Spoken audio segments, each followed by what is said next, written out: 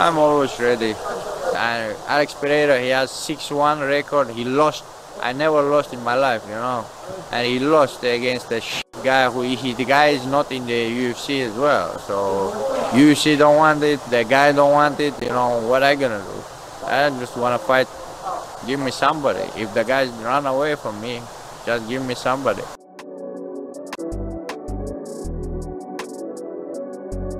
Bantamweight division is, to me, the most dangerous division in the world.